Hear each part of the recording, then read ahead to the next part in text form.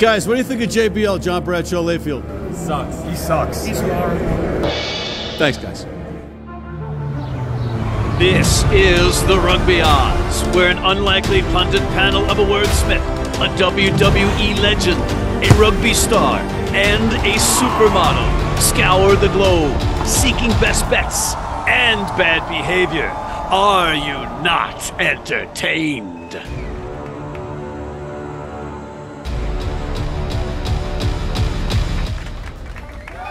Thank you, thank you. I know, and oh, thank, thank you, thank you, much appreciated. But if you look at the sponsor opportunity green room, you'll see John Bradshaw Layfield, the WWE Hall of Famer turned rugby advocate, and his producer Holly, and King Gift Egbelu, the inventor of words, all prepping diligently for today's show. And what a show we have! Look at the your company name here, Slate, and you'll see exactly what's in store, including George Hook calling in once again from Dublin. So let's not waste any time. Gentlemen, 37 and 23, a great record. And, you know, I just want to get to it and get it out of the way. John, you were at the top of the table, 13 and 6, I beg your pardon. Gift, you and I were 12 and 7. And because of the tiebreaker, you win. Yours truly gets the wooden spoon. Anyway, You're like the worst thing generals. You're used to losing. Where'd that ball go? Hey, Meadowlark, where'd that ball go? Oh, man, I just lost again. Hey, Curly, you really going to shoot from half court? Man, he hit it again. Anywho, uh, we've also got a new a twist on the Walk of Shame. We're each going to nominate a person, player, organization, or a referee as the recipient of the Walk of Shame, and then we're going to vote on it and see who's won. So why don't we start off with you, John? Who's your Walk of Shame candidate this week? SuperBru. Let me explain this to you. This is a great website, by the way. I love it. I pick, have picks on there. I'm under JBL, John Layfield. But here's the deal. My good friend Tommy Blanchett, he's a great Hollywood writer. He used to write for Conan O'Brien, wrote for WWE. He entered this pool with all of his Hollywood buddies. He used Gerald Brisco's, my dear friend, the Oklahoma legend, WWE Hall of Famer, ever Hall of Famer, Chickasaw native Hall of Famer, ever Hall of Famer there is. He used Gerald Brisco's picture. He won the pool. So I tried to use Gerald Brisco's picture on my SuperBru. I got rejected for using Gerald Brisco's picture because it wasn't my picture. So SuperBru for upholding the law and you not taking on someone else's identity is guilty here, John? No, no, no. I had my name down. I was using Gerald Brisco's picture, who is my good friend. You're still impersonating somebody else. It is somebody else, yeah, but it's my name. I You're just put disguising Brisco's your identity. There. So what? You got some bean counter there behind SuperBru's little curtain or whatever you have. I think Said, we "Oh, might have to go back to giving you the walk of shame. Gift, who's your nomination? That was fantastic, in my opinion. Almost as, as fantastic as the absolute insult that Racing 92 is for absolutely gut blowing a freaking 22 8 lead in the second half. I, it probably was the bean counter who rejected John's picture that was probably coaching up Racing in the second half. The little bean counter at SuperBru was the one that had the second half plan for Racing. That's why they got boat raced. Super Boat Brew. raced. I, I, want you to just ignore these idiots. Uh, we continue to appreciate No, your I'm hard mad at work and SuperBru. I, I, I don't know how to explain it. Anyway, Why is a bean counter from SuperBru planning the second half for Racing? You see, that's the conspiracy theory here. And that's a walk of shame. right. Well, I'm going to nominate a walk of shame candidate uh, in the form of Japan Rugby League One's Mitsubishi DynaBoars, who conceded 12 tries and 81 points to the Wild Knights. That was like the most anticlimactic thing you could ever put. You, from now on, you've got to go like in the pre-show. All right, not even like before us. You got to go in the pre-show. All right, and when I'm getting this word in. Management has decided that Gift's choice wins this week. Racing Gotta hear from 92. Super man. Like that one, identification. All right. Bam. All right, let's talk about the Champions Cup matches. There was some great play across the board. Is there anything sticks out in your mind while we're taping the show about the previous weekend, John? Absolutely. Munster. Munster was a seven and a half point dog. I said last week I thought they would win. I thought they had a chance of winning. I didn't think it was a very good chance. 40% plus of their roster is injured right now, and they go into Toulon after losing to Connacht, after tying Bayonne at home. They and they play a heck of a rugby game and win that game. Munster is they are the real deal. Gift. If you watch those Bulls against Bristol, that was beautiful.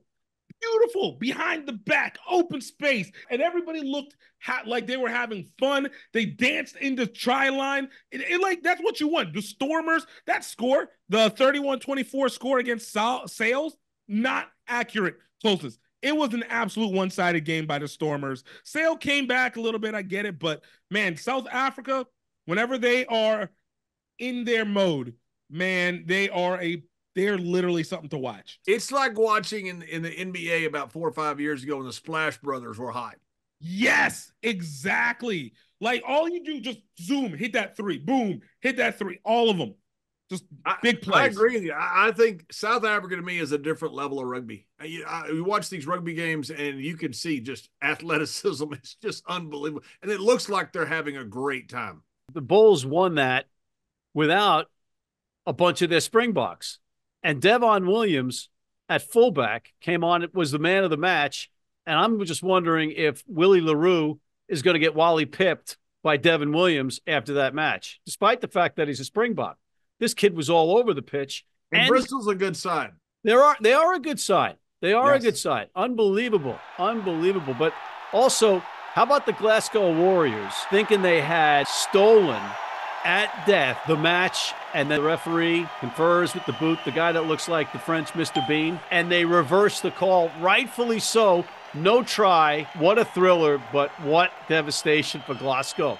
84 minutes. How about Saracens? Saracens takes their 100% A side. He got mollywopped. All the contract stuff from Maro Itoje way, way early last year to now this Owen Farrell stuff.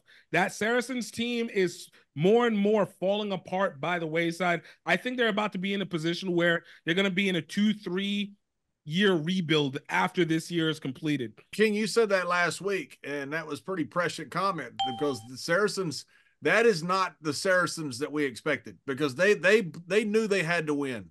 they brought everything they had, and it was not even close to good enough. That's shocking for Saracens because they're still the same team that won the premiership. Last year. Exact same team. Way to go, Holly, typing impression into John's teleprompter. That is just amazing. Holly's giving you her middle wow. finger out of the ball Un- right now. Unbelievable. Holly hates you. Holly wants to bite you. All right, guys, let's take a quick break and then welcome in George Hook. We're getting paid. Need a great price on a new vehicle? Sheehy makes it easy. Easy Price shows you our lowest prices on the Mid Atlantic's largest selection. Find your best price online or at any of our 31 dealerships. It's easy at Sheehy. If you're in New York City and want to watch some great rugby, have some great food, and some great times, go to the world's best rugby pub, the Pig and Whistle on West 36th Street. And we're back and we're welcoming in George Hook. George from Dublin, how are you? Very, very sick. Week six of six. Uh, coughing, sniveling, sneezing, cold. Uh, otherwise, I'm in fantastic form. All right. So, anyway, George, the, the big question that everybody wants to know did you watch Doris Day or did you watch La Rochelle? Well, I watched everything. But, but the key thing here is what it tells us about this championship. When you have three top five teams in top 14 lose, you have the two Parisian teams who are first and third in the top 14 lose. Uh, one of them arrives in Dublin to play Leinster with a third 15. I mean, they threw the game before they started. And this has been going on for years. The French make a decision at a certain point in the tournament are we playing in the top 14 are we playing Europe? They don't try and play them both. So that's what we're looking at now. The two Parisian teams are really so sad. We're only half interested. But then to see Leicester and more importantly, Saracens destroyed yeah. by Bordeaux and La Rochelle. Bordeaux put nine tries yeah past Leicester. Now, if you haven't looked at the YouTube highlights of this, they do all nine tries, one after another. And it's awful. I mean, it's awful. So you're looking at the best English teams are awful in this tournament. Half the French teams are, are likely to be in the shake-up, and half of them aren't interested. Racing are looking for Owen Farrell, you'd really question, looking at the way he played. The Scots and Welsh, forget them. and don't write Ireland off. First of all, there's Leinster, a fantastic record. Unbelievable roster. And you have Munster. Like, Munster went down, you cannot understand how big that win was against Toulon. It's very hard to understand. If you haven't had spent a lifetime like I have, my first ever game in, in France has oh God has got to be 50 years ago in Biarritz. And and you you you think we went down there and they were unbeatable. And and Munster went down to Toulon and beat them and beat yeah. them comfortably, right? Yeah. Now next week and, and I know John's going to ask me, I guess he's going to say, how are they going to do against Northampton, given Northampton are top of the table? But if you haven't been in Thomond Park, where the crowd are about nine and a half inches from the touchline and they're baying for your blood, like, it's a very difficult place to visit. It's difficult for Cork people to visit Limerick, let alone English people.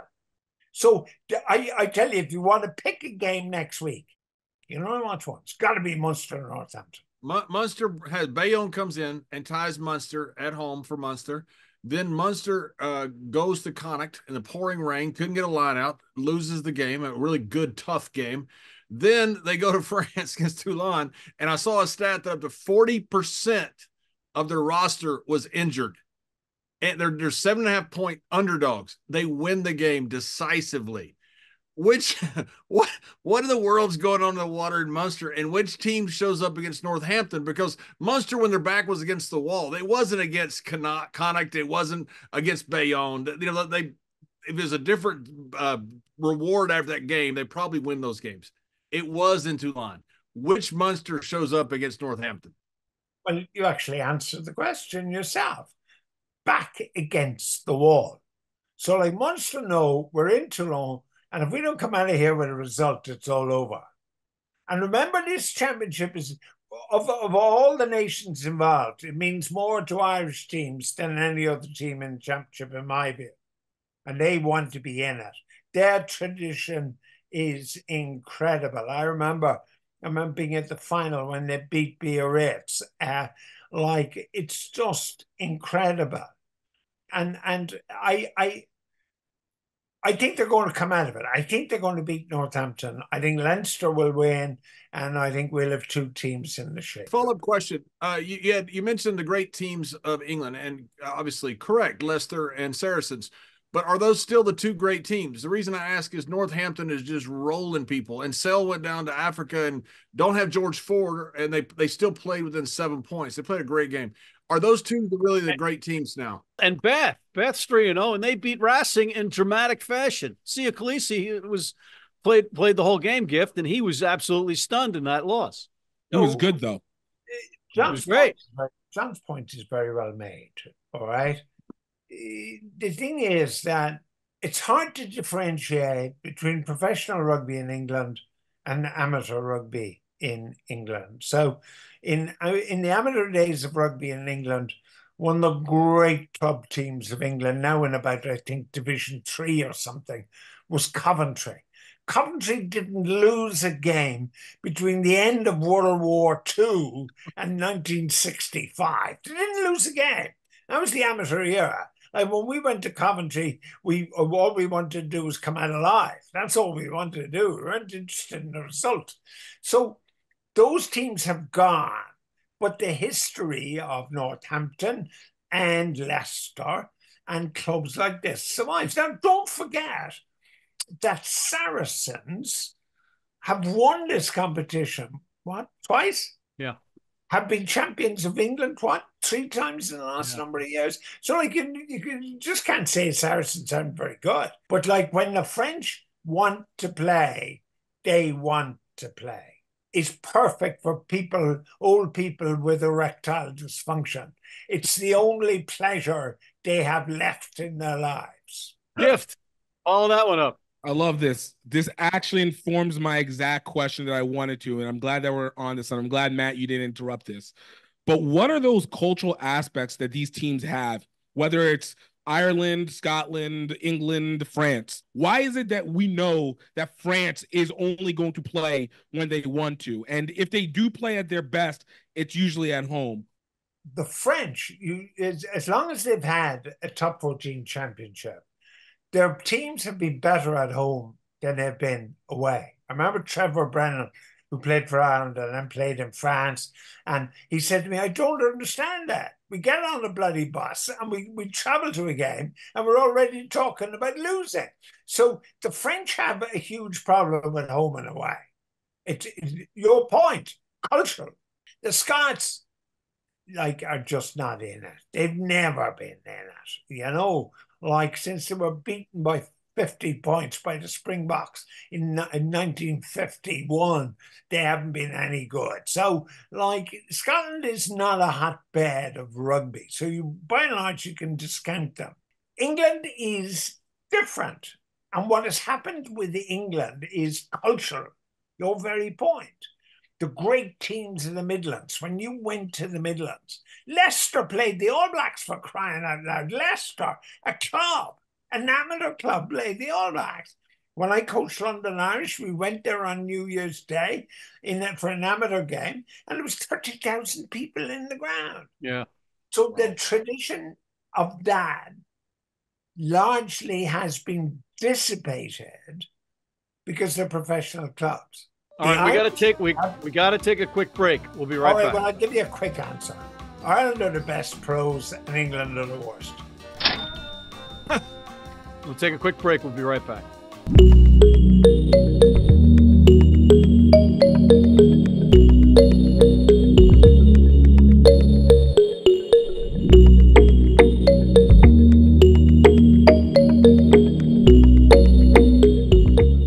You need your cleats? You need them tomorrow? If you order today by 3 p.m. New York time or noon LA time, they can have them to you tomorrow young, old, male, female, if you're playing on turf, if you're playing on grass, if you're playing in the rain, you're playing in the heat, they've got you covered.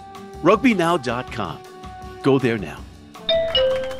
And we are back. George, you mentioned Saracens. Uh, Stuart Lancaster, who was the head coach of England in 2015, he's now at Racing. He wants to bring in Owen Farrell. Is it to save his ass because of his team in a must win with a big lead, blowing it at Bath? Well, first of all, I don't think players of the quality of Owen Farrell come on the market very often. So you've got a really good fly half on the market with certain issues. But nevertheless, if I was the coach of a major team and Farrell was on the market, I'd be thinking of picking him too. But what should Saracens ownership do now? Should they should they unload everybody that's over the age of 28 and should they keep Mark McCall or is McCall gonna what's his next move?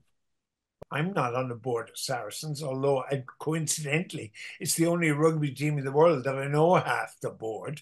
Um, they they're they're not stupid. They're key. They they they're not just investors. They're keen rugby guys, and and they invested not for the money, but because of a real interest in rugby. So they look at Saracens and try and fix it, but they might be looking at three or four years to fix it. Is it too early to say that La Rochelle and Toulouse have found their form in the Champions Cup and could conceivably be in the final against each other, or at least one of them? And who's going to knock them off? I mean, Bordeaux were magnificent. The quality of, of, of their play was just out of this world. Like they've got a wonderful fly half. They've got two great wings. If if you think about how great rugby teams attack, they need a fly half and they need two wings. And Bordeaux have that. So if I was going to pick a French team, I'd pick Bordeaux. You can't discount Leinster. You just simply cannot discount Leinster. Well coached, good depth, although they've now got two number 10s on the injury list. And the further the competition goes on and the longer Munsters survive, the more difficult they're going to be. Wait, let me follow up on this. I want to ask what happens if a South African team wins European Cup? Because when South Africa, like Stormers, once they get flying, it almost feels like nobody is matches with them. The Bulls this week saw them playing. It just feels like they hit a rhythm and they can. What happens if South Africa ends up winning this Investec Cup? Well, Groucho Marx said that he knew Doris Day before she was a virgin. Um, I remember when European rugby had European teams in it. So I cannot get my head around the idea that there are South African teams in the European Championship. It's just a crass attempt at commercialization. And I don't think they're quite as good as you think. Okay. All right. And George, before we let you go, I just got to go back. I know that you're not feeling well. I know that you're on, you're on medication. Are you sure that you're taking Bordeaux as the French team over Toulouse or La Rochelle? Yes. Not taking anything away from them, but when down to 13 men, La Rochelle just still dismantled Leicester. That's a solid Leicester Tigers side. I, I, it was just amazing watching them do what they did with 13 guys. and their tight five is enormous. I, all those things have been in a part and parcel of the La Rochelle DNA for the last five seasons. Yeah. So they're going to be a team to beat, but like only one team can win it. And I'm paid big bucks by this program to make a call on who I think is going to win it. All right. You know, and and I think if it's a if it's a French team, it's Bordeaux. Um, and, and don't get carried away by the performance against Leicester. Leicester and, and Saracens, almost the entire Premiership in England is made up of pretty aloe clubs when the chips are down. They lack pride, they lack identity, they lack cohesion, they lack good direction. I don't even have anything to offer. Okay, we'll we'll see after this Saints versus Munster match. I'm prepared to give my next week's salary to the Home for Impoverished Ladies if uh, you know these English teams start winning. the the folks at Bath and the folks at the Saints are just shaking their head and wagging their finger at you again, George Hook. And on that I note, remember, I want to thank you. I remember I was in the bus with my father, God rest him, and I was very young. And I saw the sign outside the building, and I said, Why are those women indignant? I said to my father. And he said, No, they're not indignant, they're indigent. So uh, I've always understood the meaning of the word indigent since I was about seven years of age. On that note, I want to thank George Hook for coming on. Thank you, George. God bless. God bless. Thank you, George. Thank you, George.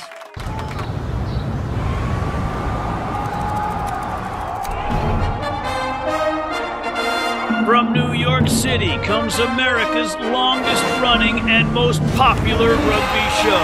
The biggest names in Major League Rugby, MLR highlights, and big match previews. Rugby Wrap Up presents MLR Weekly, made in New York City.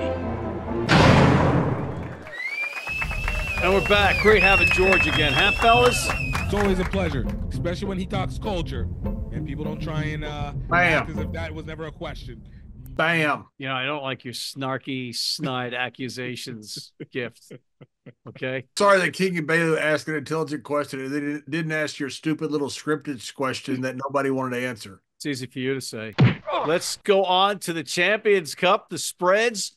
Who do you like, John? Munster and Northampton. Munster has to win this game. Northampton does not. I'm not sure who the better team is here. Munster's playing at home. I know George Hook uh, is under full belief and justifiably so that Munster is going to win this game. I think they probably are. Munster to beat Northampton in a great rugby game in Thomond Park. So you're saying the Saints don't have a prayer? Gift. Look, I think the game that's really to watch is Toulouse versus Bath. That's a, a battle for the top seed. Toulouse came off strong last week. Bath lost. It's Bath. Bath. It's Bath. not Bath. It. You, You're you, from New Jersey. It's Bath. You're from New Jersey. The king happens to be cultured. Thank you, sir. Bath. Thank you. So it's Bath won against Racing 92, and they have a chance to be able to take it again to another French team, especially one that might not feel like they have anything to play for, and put them in a position to have the best seating in the knockout stages and staying at home. So look in this one for Bath to actually take the points and the win and wash Toulouse on the road. so you had Stallone, Van Damme, and Schwarzenegger all standing around saying, Hey, let's be Premier League teams, Premiership teams. They said, Okay. And Stallone says, I'll be Saracens. Van Damme says, I'll be Leicester. Schwarzenegger says, I'll be Bath. The Austrian Oak says it's Bath. King Egbelu says it's Bath. You, you English flunky from Bayonne, New Jersey, don't get your way. You can't use the same exact joke you used last week and change one word. You just can't do that. Last week it was composers. Last week it was Strauss, Mozart, and I'll be Bach. That's funny. That's some funny, consistent, serial humor. I'm going to commit sacrilege here, and I'm going to say that the Saints, who we have underestimated repeatedly, all of us on this show, including you, John, when you picked Bayonne, How'd that work out for you? I picked Bayonne to cover, yeah, not to win. I picked the Saints to, to win. The Saints ran no them out of the building. They 42 to 0 at halftime. yeah. Yeah, how about the worst bet I ever made in my life. Okay. So what I'm saying but here I didn't pick them to lose. I picked them to win, just not by that much. I'm going with Northampton with the points, but I think Munster is going to win. Pick of the week gift. I'm looking at Stormers versus Stade Francais. Stade Francais absolutely got boat race last week. I think the Stormers are absolutely going to murder the Stade Francais and get that number one spot because I look at Leicester and Leinster, and I think Leinster will actually lose to Leicester and allows the Stormers to be able to move to number one. You're saying Stormers on the road in Paris are going to win, and you're saying Leicester is going to beat Leinster. Yes. Uh, you want to bet me on the the Leinster Leicester match? Let's go. Okay, we got a spread of eight and a half. I'm giving you eight and a half. I expect Leicester to at least cover. We can do that, but I am looking at them to get the win over Leinster in All right. this one. I got Leinster with eight and a half. We'll see what happens here, pal. John, pick of the week. I'm going to go back to the well. I'm going to bring a little more water up because I figured out when you bet on Connacht, I bet against them. So I'm taking Bristol You're- as my play of the week because you picked Connacht again. And like last week, you owe me. My pick of the week, I'm going with the Wild Knights, Japan's Rugby League One, to really take it to the Honda Heat. Alrighty, on that note, I want to thank WWE Hall of Famer turned rugby advocate and his producer Holly, John Bradshaw Layfield, and King Gift Egbelu, the inventor of words, and of course the great George Hook calling in from Ireland. And thank you for tuning in. Please check out our other programs, including MLR Weekly, College Rugby Wrap Up, and hit that subscribe button on YouTube. Please join our weekly newsletter and sign up for our American Red Cross blood donor team. So you don't like Native Americans. That's why you don't like Mr. Brisco. You're as bad as Custer. I'm glad he had a last stand. You're as bad as Andrew Jackson. Oh.